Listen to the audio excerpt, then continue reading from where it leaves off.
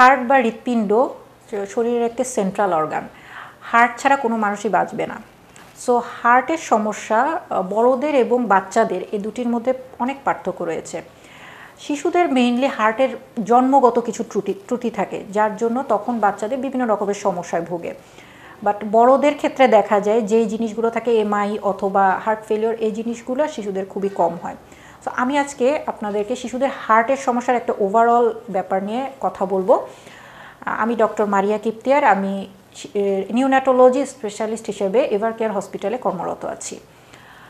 So হার্টে বাচ্চাদের কি কি সমস্যা হতে পারে? প্রথমত, জন্মগতভাবে কিছু ত্রুটি থাকে বাচ্চাদের হার্টে। এটি মেইন সমস্যা। একটা বাচ্চার দেখা যায় হার্টের প্রবলেম হতে জন্মগত ত্রুটিটাই মেইন সমস্যা থাকে। সো জন্মগত ত্রুটিগুলো বাচ্চারা যেভাবে, কীভাবে করে প্রকাশ করে? প্রথমত, জন্মের পরে কিছু বাচ্চা প্রকাশ করতে পারে। জন্মের পরপর দেখা যায় যে, অনেক আমরা নিউনেটো নিউনেটাল আইসিউতে আমরা এভার কেয়ার হসপিটালে পাই যে, বাচ্চা জন্মের পরপর হার্টের সমস্যা নিয়ে প্রেজেন্ট করছে। কীভাবে সেটা? তাদের প্রলং অক্সিজেন লাগছে।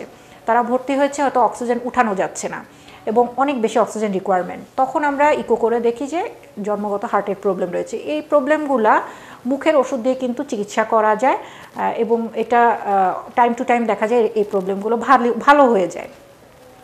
কিছু কিছু সমস্যা আর একটু বড় বয়সে গিয়ে ম্যানিফেস্ট করে, যেমন তখন বাচ্চা কি করে?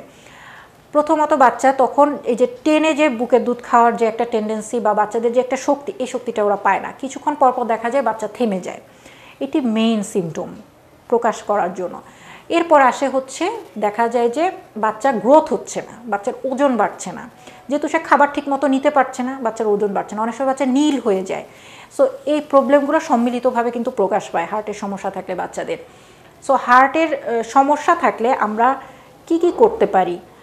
প্রথমত হচ্ছে হার্টের প্রবলেম যখন থাকে তখন ইনিশিয়ালি যদি নিউনাটাল এটা প্রেজেন্ট করে, অবশ্যই বাচ্চার ভর্তি লাগবে এবং প্রপার ট্রিটমেন্ট লাগবে। বিকজ হার্টের সমস্যাগুলো যত দিন যায়, এগুলোর ম্যানিফেস্টেশনস তত মানে কঠিন হতে থাকে। বাচ্চার গ্রোথ হবে না, বাচ্চার নিউমোনিয়া ভুগবে, বাচ্চা ঘন ঘন শ্বাসকষ্ট হবে, এসব বাচ্চা কখনোই নর্মাল লাইফ লিড করতে পারে না।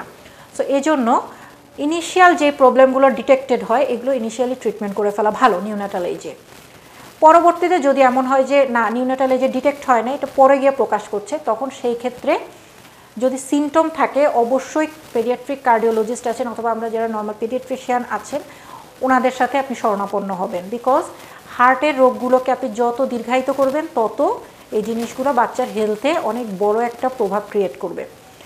এবং কিছু কিছু হার্টের সমস্যা আছে, যেমন এএসডি বলি আমরা।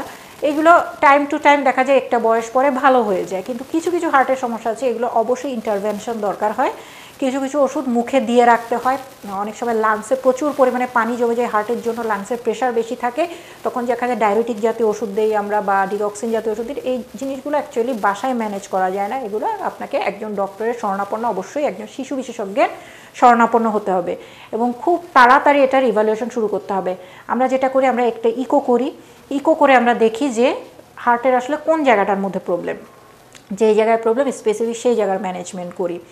কিছু কিছু প্রসিডিউর দেখতে অনেক বাচ্চা সায়ানোসিস নিয়ে প্রেজেন্ট করে যে নীল হয়ে যায় খুব বেশি নীল হয়ে যায় আমরা কিছু কিছু প্রসিডিউর তখন বাসায় বলে দিই যে বাচ্চাকে এই প্রসিডিউরগুলো মেনটেন করলে বাচ্চাটা হয়তো সায়ানোসিসের হাত থেকে অনেকটাই রক্ষা পাবে। পরবর্তীতে ইন্টারভেনশনে অবশ্যই যেতে হবে। সো হার্টের প্রবলেম হলে যদি আপনারা মনে করেন এই লক্ষণগুলো আছে, বিশেষ করে বাচ্চার ঘন ঘন শ্বাসকষ্ট হচ্ছে, বাচ্চার ঘন ঘন নিউমোনিয়া হচ্ছে, বাচ্চার গ্রোথ ফেলিওর আছে এই প্রবলেমগুলো যদি বা বাচ্চা নীল হয়ে যাচ্ছে, এই প্রবলেমগুলো যদি সম্মিলিতভাবে কোথাও দেখেন, কোনো বাচ্চার মধ্যে দেখেন, দেরি করবেন না।